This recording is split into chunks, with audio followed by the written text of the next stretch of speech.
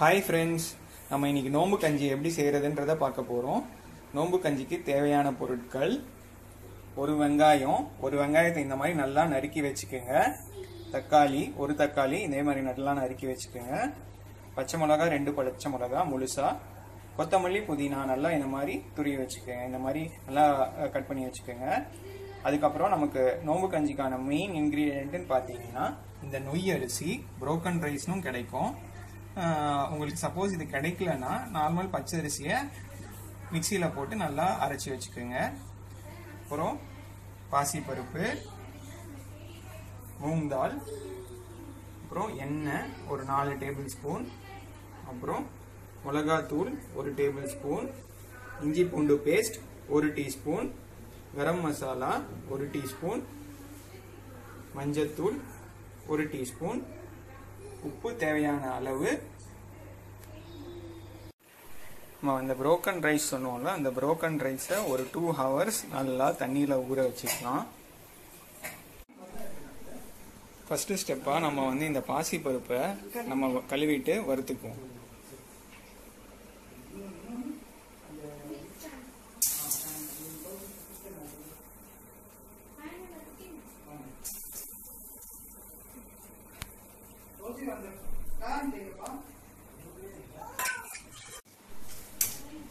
இந்த பாசி பருப்பை இந்த மீடியம் ஃப்ளேமில் கொஞ்சம் கொஞ்சம் நல்லா செவக்கிற வரைக்கும் வறுத்துக்கோங்க.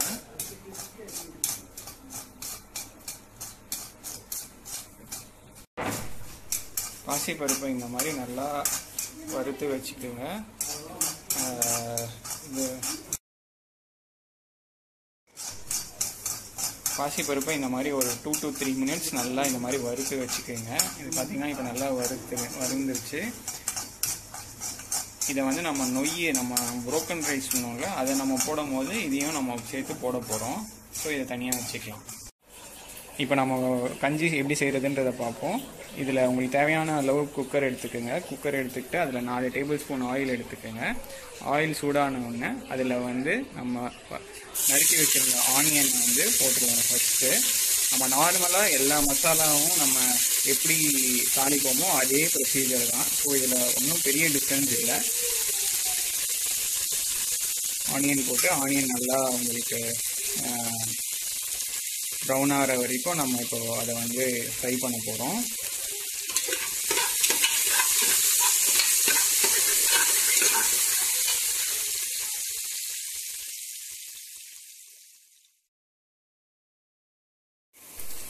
இப்போ ஆனியன் பார்த்தீங்கன்னா லைட்டாக வதங்கிருச்சு. இப்போ நம்ம வந்து இஞ்சி பூண்டு பேஸ்ட் சேர்த்துக்கலாம்.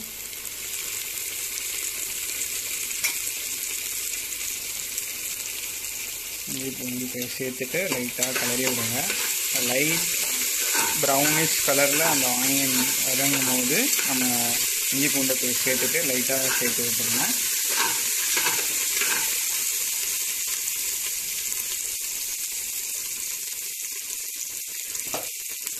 நெக்ஸ்ட்டு நம்ம வந்து தக்காளியை போட்டுடலாம். தக்காளி பச்சை மிளகா முழுசாக போட்டுருங்க. அப்புறம் நம்ம கட் பண்ணி வச்சுருந்த கொத்தமல்லி புதினா. எல்லாத்தையும் போட்டுருங்க. இது லைட்டாக வதங்கினோடனே நம்ம லைட்டாக உப்பு சேர்த்துக்கலாம். இப்போ நம்ம உப்பு போட்டுடலாம்.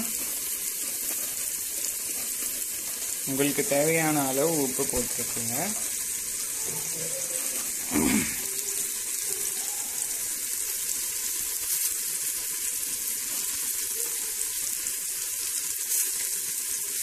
இப்போது உப்பு போட்டுட்டு லைட்டாக கலரி விட்டுட்டு அந்த வெங்காயம் தக்காளி எல்லாம் நல்லா வதங்கின அப்புறமா நம்ம வந்து மசாலாவை போட போகிறோம் ஸோ இதை வந்து ஒரு two two two minutes two minutes நீங்கள் வதங்கிட்டோம். அதுக்கப்புறமா நீங்கள் மசாலாவை போடலாம். நிமிஷம். இப்போது நம்ம நல்லா வதங்கிருச்சு. இப்போ எல்லா மசாலாவையும் போட்டுடலாம்.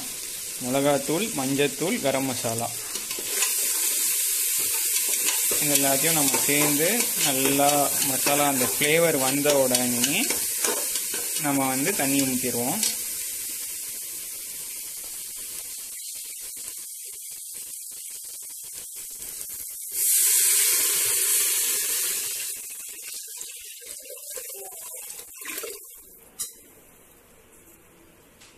இப்போ தண்ணி ஊற்றியாச்சு இது நல்லா கொதிக்கணும்.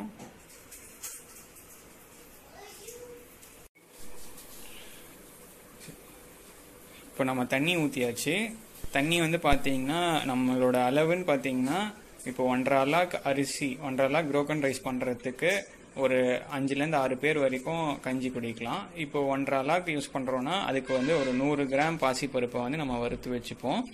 தண்ணி பார்த்தீங்கன்னா ஒரு நாலு லிட்டர் நாலுலேருந்து ஒரு நாலரை லிட்டர் வரைக்கும் நம்ம வந்து தண்ணி போடுற மாதிரி இருக்கும். இது கொஞ்சம் தண்ணி உங்களுக்கு ரொம்ப கெட்டியமாக இருக்கிற மாதிரி இருந்துச்சுன்னா நம்ம தண்ணி ஊற்றிட்டு அதை வந்து நம்ம அப்போ வந்து நம்ம வந்து சரி பண்ணிக்கலாம். இப்போ இந்த நொய் அரிசி இந்த புரோக்கன் ரைஸை நம்ம தண்ணியில் போட்டுடலாம்.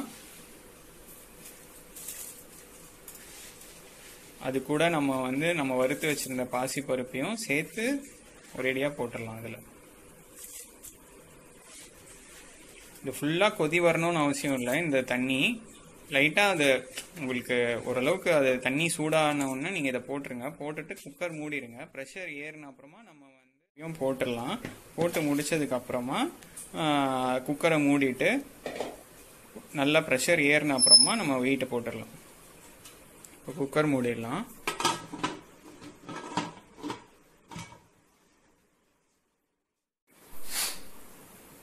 நல்லா கொதி வந்தோடனே நம்ம வெயிட்டை போட்டு சிம்மில் வச்சுட்டு